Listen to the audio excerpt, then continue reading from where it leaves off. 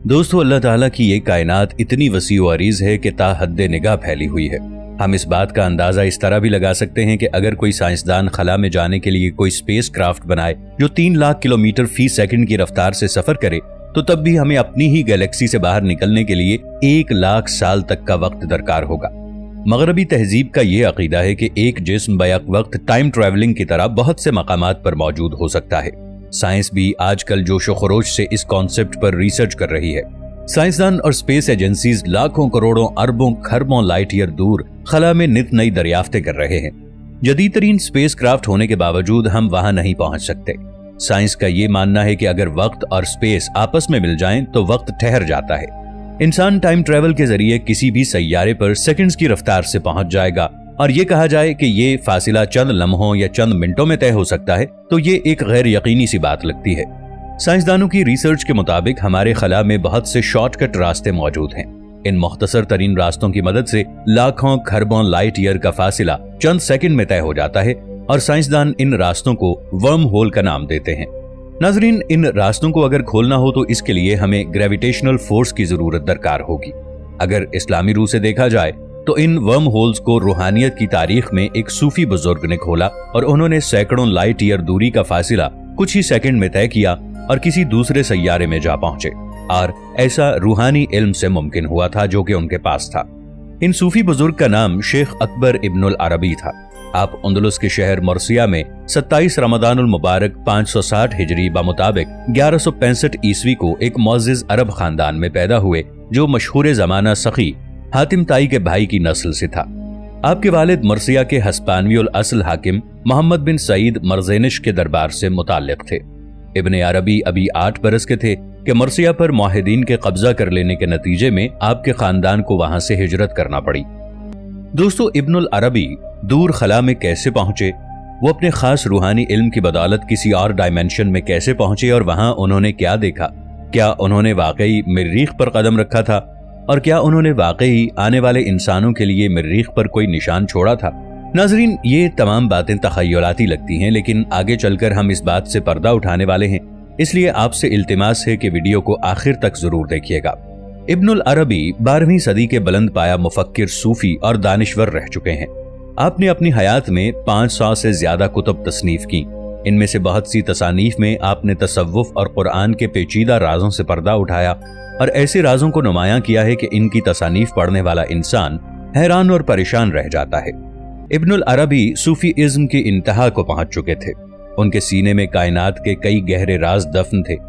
जब अल्लाह का कोई वली अपने ईमान की तकमील को पहुँच जाता है तो वो फिर ऐसे ऐसे काम सरंजाम देता है, जो किसी आम इंसान के लिए बस तखयल की दुनिया होती है। इब्नुल अरबी के कहने के मुताबिक, वो रूहानियत के ज़रिए ऐसी दुनियाओं तक पहुँचे हैं, जो हमारी जमीनी दुनिया जैसी ही थी। रूहानियत की दुनिया में एक मकाम ऐसा था जहाँ हर तरफ़ खुशबू ही खुशबू थी। वहाँ पर चलने फिरने वाली मखलूकत की रफ्तार इस कदर तेज थी कि एक आम इंसानी आँख उसे देख नहीं सकती थी।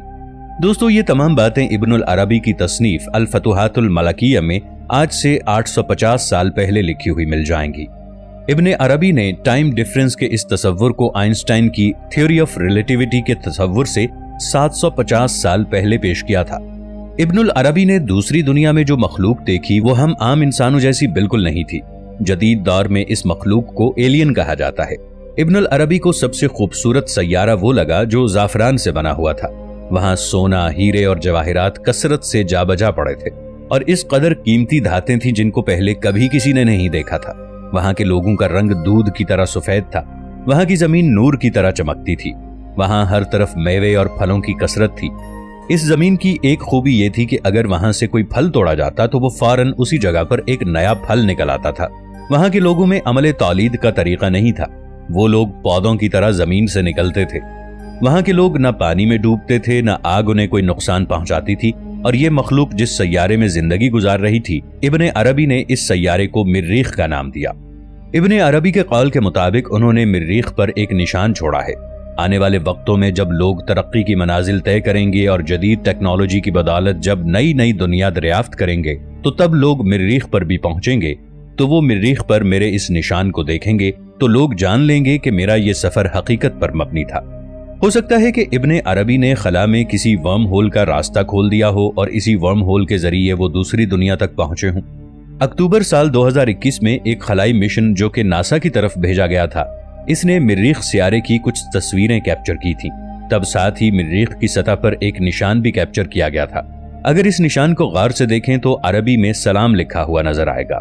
मरीख पर मौजूद इस निशान को हम गूगल मैप के ज़रिए भी वाजह तौर पर देख सकते हैं। तुर्की में रहने वाले कैफर स्कंदरोगलू जो कि एक मुसन्निफ हैं, उन्होंने अपनी किताब वैल्यू ऑफ़ प्रॉफिट में ये इजहार किया है। कि इब्ने अरबी ने अपनी जिस किताब में निशान का ज़िक्र किया है और मरीख पर जो निशान बना हुआ है, ये वही निशान है। साइंसदानों के मुताबिक इब्नुल अरबी की किताब पर काफ़ी रिसर्च की जा रही है और वो ये मालूम करने की कोशिश में है कि इब्नुल अरबी ने कायनात में दूर दराज के मकामात पर कैसे सफ़र किया और किस तरह वहाँ पहुँचे। ये एक ऐसा इल्म होता है कि इसमें जिस्म ज़मीन पर होता है, मगर रूहानी तौर पर वो शख्स नींद की तरह किसी और दुनिया में मौजूद होता है। इसकी एक मिसाल हज़रत सुलेमान अलैहिस्सलाम के दौर की है, जब यमन की शहजादी का तख्त पलक झपकते ही हज़रत सुलेमान अलैहिस्सलाम के सामने हाजिर हो गया था। इसकी एक जीती जागती मिसाल हमारे सामने वाक़ मेराज नबी मौजूद है। ये एक ऐसा सफ़र था जिसमें हमारे प्यारे नबी हज़रत मोहम्मद वसल्लम एक लम्हे में सातों आसमान तक पहुंचकर वहाँ की सैर कर आए थे, मगर इसमें एक वाज फ़र्क था। अम्बिया किराम में हज़रत मोहम्मद सल्लल्लाहु वसल्लम ने जिस्मानी तौर पर यह सफ़र, यानी मेराज का सफ़र किया था, जबकि सूफियाई किराम रूहानी तौर पर ऐसा सफ़र करते हैं। इसी तरह असहाब कहफ की भी मिसाल मिलती है, जो एक गार में 309 साल तक सोते रहे, और जब वो जागे तो उन्हें ऐसा लगा जैसे वो कुछ सेकंड के लिए सोए थे। इब्नुल अरबी के कौल के मुताबिक, अगर एक इंसान अल्लाह ताला पर कामिल यकीन रखे और इसके साथ किसी को शरीक न ठहराए तो वो रूहानियत के इल्म से बहरावर हो सकता है और फिर वो रूहानी तौर पर खला में कहीं भी सफ़र कर सकता है तो चाहे वो मरीख में भी सफ़र करे। मरीख दरअसल पुराने वक्तों से ही सुर्ख सैारे के नाम से मशहूर है, क्योंकि इसकी सतह सुर्खी या जाफरानी रंग की है। इब्नुल अरबी ने इस दुनिया के मुतालिक भी लिखा था। अमरीका और बहुत सी यूरोपियन कंट्रीज़ मरीख में अपने बहुत से मिशन भेज चुकी हैं।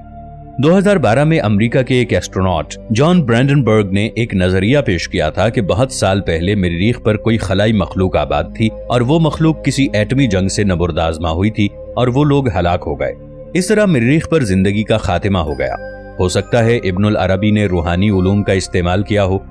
रूहानी उलूम के हसूल के लिए इंसान को अपने आप को मादी दुनिया से दूर रखना पड़ता है। और इन तमाम बातों की इतात करना पड़ती है जो अल्लाह और उसके रसूल के बाद तमाम अम्बिया किराम ने लोगों को बताई और सूफिया किराम ने खुद वही तरीका अपनाया।